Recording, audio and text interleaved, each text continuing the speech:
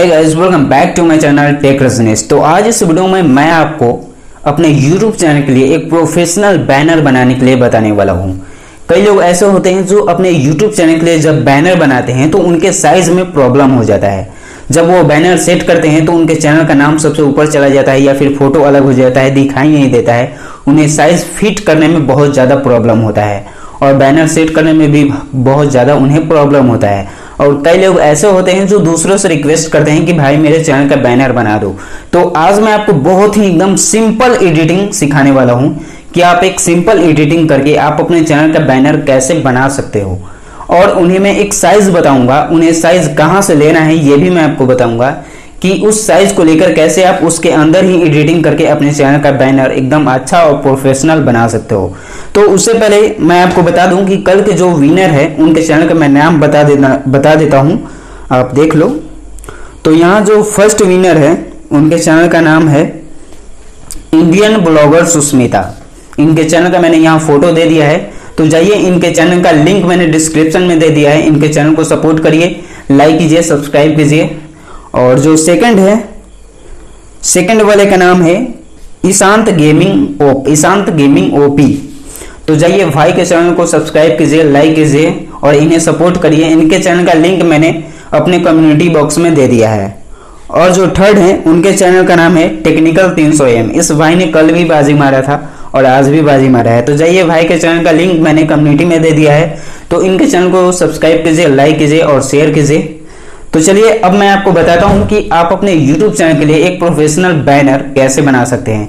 तो उसके लिए आपको चलना होगा मेरे फ़ोन के स्क्रीन पे। और गैस मैं आपको बताना चाहता हूँ कि इस वीडियो में भी प्रोमोशन कोड दिया गया है। तो आपको वीडियो एकदम ध्यान से देखना है और प्रमोशन कोड आपको बताना है कमेंट बॉक्स में कमेंट करके। तो मैं आपके चैनल का भी प्रमोशन कर दूँगा। चलिए, चलते हैं फ़ोन के स्क्रीन पे और देखते हैं कि आप अपने यूट्यूब चैनल के लिए एक प्रोफेशनल बैनर कैसे बना सकते हैं। तो गाइज़ हम लोग आ चुके हैं फ़ोन के स्क्रीन पे। तो अब मैं आपको समझाने वाला हूँ कि आप अपने यूट्यूब चैनल के लिए एक अच्छा बैनर एक प्रोफेशनल बैनर कैसे बना सकते हैं। तो अगर आपको बैनर का साइज़ पता नहीं है और साइज़ आपको मिल नहीं पाता है, अगर सेट करते हो तो साइज़ में कुछ गड़बड़ी हो जाती है और बैनर सेट करते हो तो एक अच्छा तरीके से बैनर आपका सेट नहीं हो पाता है। तो उसके लिए मैं आपको साइज़ बताऊँगा। चलिए चलते हैं। सबसे पहले आपको क्या करना है कि फ़ोन के क्रोम ब्राउज़र को ओपन कर देना है। और जैसे ही आप फ़ोन के क्रोम ब्राउज़र को ओपन करते हो, उसके बाद क्या करना है कि यहाँ पे सर्च में जाना है और यहाँ से सर्च करना है यूट्यूब चैनल बैनर साइज़ तो मैं यहाँ सर्च कर देता हूँ। Y O U T U B E YouTube channel channel banner size यहाँ जैसे आप देख रहे हो, मैंने पहले ही सर्च मारा हुआ था तो यहाँ मेरा आ गया है। तो ये आपको टाइप कर लेना है और टाइप करने के बाद यहाँ से सर्च कर देना है। तो मैंने यहाँ सर्च कर दिया है। अब यहाँ से क्या करना है कि आपको इमेज में चले जाना है। यहाँ से इमेज में आपको चले जाना है। आप यहाँ देख सकते हो कि यूट्यूब चैनल बैनर बनाने के लिए यहाँ साइज़ दिया गया है। तो कोई भी एक साइज़ आपको यहाँ से डाउनलोड कर लेना है, जैसे कि मैं यहाँ से इस साइज़ को यहाँ से इसे डाउनलोड करने, करता हूँ। तो यहाँ से इस इस पर क्लिक करे रहना है और क्लिक करे रहोगे तो यहाँ से डाउनलोड का ऑप्शन है तो इसे डाउनलोड इमेज पर क्लिक कर देना है। अब ये बैनर का साइज़ आपके फ़ोन में डाउनलोड हो गया है। तो अब मैं क्या करता हूँ कि इसे ले चलता हूँ पी कार्ड में। तो पहले मैं यहाँ फ़ोटो को ओपन कर लेता हूँ कि ये डाउनलोड कहाँ हुआ है तो ये डाउनलोड में है। अब मैं इसे यहाँ ओपन कर दिया हूँ। अब यहाँ से मैं इसे शेयर करके ले चलता हूँ इसे पी कार्ट में। तो अब आप यहाँ देख सकते हो कि ये पी कार्ट में आ चुका है। तो आप यहाँ जो देख सकते हो, ये जो ब्लू वाला आपको कलर दिखाई दे रहा है मेन यही होता है आपके यूट्यूब चैनल का बैनर साइज़ के लिए। जितना जितना साइज़ में ये ब्लू कलर आपको दिखाई दे रहा है, उतना ही साइज़ होता है YouTube channel banner size banner बनाने के लिए। इससे ज़्यादा अगर आप बनाते हो तो साइज़ में प्रॉब्लम हो जाता है, आपका फ़ोटो कट जाएगा, आपका नाम कट जाएगा, सही तरीके से, सही तरीके से फिट नहीं बैठ पाता है। तो अब मैं आपको सिखाता हूँ कि इसको जो लिखा हुआ है, इसे हटाओगे कैसे। तो हटाना नहीं है, इस पर एक अपना बैकग्राउंड सेट कर देना है। तो मैं यहाँ से क्या करता हूँ कि ऐड फ़ोटो पे चले जाना है। और ऐड फ़ोटो में जाने के बाद जो भी आप इस पर बैकग्राउंड सेट करना चाहते हो मतलब कि जो भी आप इस पर कलर चिपकाना चाहते हो, जैसे मैं यहाँ येलो कलर का एक बैनर है तो येलो कलर पे मैं यहाँ सेलेक्ट करता हूँ और यहाँ से राइट साइड में सबसे ऊपर ऐड का ऑप्शन है तो ऐड के ऑप्शन पे चले जाना है। तो मैं यहाँ ऐड के ऑप्शन पे आ चुका हूँ। तो अब यहाँ से क्या करना है कि इसे छोटा कर देना है, दोनों तरीके दोनों तरीके से यहाँ टाइप करके। और यहाँ से सिंबल क्या करना है कि इसे यहाँ से बढ़ा देना है। जहाँ तक जहाँ तक आपका ब्लू कलर दिखाई दे रहा है, वहाँ तक इसे यहाँ बढ़ा देना है और यहाँ से इधर वाले पे टाइप करके राइट साइड वाले पे टाइप करके, यहाँ जितना देर में आपका, जितना दूर में आपका ब्लू कलर है, उतना ही देर में टाइप कर देना है। और यहाँ से राइट साइड में सबसे ऊपर एरो का ऑप्शन है तो एरो का ऑप्शन पे क्लिक करके ओके कर देना है। तो ये ओके हो चुका है। अब इस अब इस पीला कलर का जो आपका बैनर दिखाई दे रहा है, जो जितना दूर में आपका पीला कलर है येलो कलर है, उतना ही दूर में आपको लिखना है। उससे ऊपर कुछ नहीं लिखना है। तो मैं अपने चैनल का नाम अगर लिखना चाहता हूँ तो मैं यहाँ से क्या करता हूँ टेक्स्ट पे चले जाना है और यहाँ से लिख देना है टेक रजनीश। आपका जो भी चैनल का नाम है, आप लिख सकते हो T E C H tech R A J N I S H tech Rajneesh यहाँ से मैंने टाइप कर दिया है, अब यहाँ से ओके पर क्लिक कर देना है। और यहाँ से क्या करना है कि सिंपल इस पर इतना पर लिए कर छोड़ देना है। और यहाँ से स्टॉक स्टॉक पे जाना है।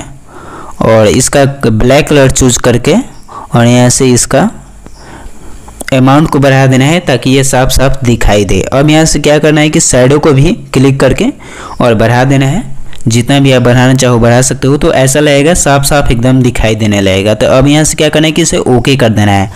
अब अगर आप इस पर अगर फ़ोटो सेट करना चाहते हो तो आराम से आप कर सकते हो। जैसे आप पी कार्ड में एडिटिंग करके अपना फ़ोटो चिपकाते हो तो यहाँ से आराम से आप सेट कर सकते हो। जैसे कोई भी आपका फ़ोटो है, मैं आपको यहाँ दिखा देता हूँ। जैसे मेरा यही फ़ोटो है। अगर मैं इसको अगर चिपकाना चाहूँ तो यहाँ से ऐड पे क्लिक कर देना है फ़ोटो सिलेक्ट करके। और यहाँ से क्या करना है कि कट आउट का जो ऑप्शन है कट आउट के ऑप्शन में जाना है। और यहाँ से आउट लाइन पे आउट लाइन को जो ऑप्शन है आउट लाइन पे जाना है। और यहाँ से इस फ़ोटो को जूम करके, और यहाँ से इस पर यहाँ से क्लिक कर देना है। क्लिक करते हुए घुमा लेना है। छोड़ना नहीं है, याद रखना। और यहाँ से एकदम अच्छे से आपको कट आउट कर लेना है ताकि कहीं भी कुछ छूट ना जाए और यहाँ से मिला देना है। तो ये एक फ़ोटो कट आउट में आपका निकल जाएगा और जहाँ भी छूट गया है, यहाँ आप देख रहे हो जूम करके छूट गया है तो यहाँ से ब्रश पे सिलेक्ट करना है और जूम करके यहाँ से जहाँ भी छूटा हुआ है वहाँ पे कलर मिक्स कर देना है। और यहाँ भी बाल में छूटा हुआ है तो मैं यहाँ मिक्स कर देता हूँ। इतना हो गया। अब यहाँ से क्या करना है कि ओके पर क्लिक कर देना है। तो मैंने यहाँ क्लिक कर दिया। अब यहाँ देख सकते हो कि ये फ़ोटो एकदम बिल्कुल फिट कर चुका है। अब यहाँ से इस फ़ोटो को जूम करना है और जो फ़ोटो आप कट किए हो, इसको यहाँ से घस क्लिक कर देना है मतलब कि इधर खिसका देना है और यहाँ से इसे छोटा कर देना है। इस फ़ोटो को यहाँ से आप छोटा कर सकते हो। तो मैंने इसे यहाँ से छोटा कर दिया है और जितना दूर में आप फिट बैठाना चाहते हो, फिट बैठा सकते हो। यहाँ मेरा अच्छा लग रहा है। अब यहाँ से इसका ब्राइटनेस बढ़ाना चाहते हो फ़ोटो का क्योंकि ब्राइटनेस तो उतना अच्छा लग नहीं रहा है। तो अब यहाँ से क्या करना है कि एडजस्ट पे जाना है। आप यहाँ देख सकते हो, यहाँ एडजस्ट का ऑप्शन है। तो एडजस्ट के ऑप्शन पे आपको चले जाना है और यहाँ से इसके ब्राइटनेस को बढ़ा देना है। जैसा कि आप यहाँ देख सकते हो कि फ़ोटो का ब्राइटनेस बढ़ चुका है और काफ़ी अच्छा लग रहा है। अब इसमें आप जो कुछ भी लिखना चाहते हो, आप लिख सकते हो। और लिखने के बाद यहाँ से राइट साइड में सबसे ऊपर जो एरो का ऑप्शन है एरो के ऑप्शन पर आपको क्लिक कर देना है। और यहाँ से फिर से एरो के ऑप्शन पे क्लिक करना है और फिर से एरो के ऑप्शन पे क्लिक कर देना है और यहाँ से कट कर देना है जो भी पर्चा रहता है और यहाँ से गैलरी में सेव कर देना है। ये अब जो फ़ोटो है, ये गैलरी में सेव हो चुका है। जैसे कि मैं यहाँ बैक करके आपको दिखा देता हूँ। यहाँ आप देख सकते हो कि ये पिक्चर में मेरा सेव हो चुका है। अब आप इस फ़ोटो को अगर आप बैनर में अपना सेट करना चाहो तो सेट आराम से कर सकते हो। तो बैनर सेट करने के लिए आपको आता ही होगा। मुझे आशा है कि आप यूट्यूबर हैं तो आपको ज़रूर आता होगा। अगर नहीं आता है तो बैनर सेट करने के लिए अगला वीडियो मैं ज़रूर बनाऊँगा। और फ़िलहाल आप बैनर बनाने के लिए सीख लीजिए कि कैसे आप अपने यूट्यूब चैनल के लिए एक अच्छा और प्रोफेशनल बैनर बना सकते हैं। तो आशा करता हूँ कि ये वीडियो एकदम आपको अच्छे से समझ में आ गया होगा। और अगर ये वीडियो आपको पसंद आया है तो प्लीज़ मेरे चैनल को सब्सक्राइब कर लेना, ताकि जब भी मैं न्यू वीडियो डालूँ तो आप तक मेरा वीडियो सबसे पहले पहुँचे। चलिए मिलते हैं अगले न्यू वीडियो में, तब तक लिए बाय बाय टाटा।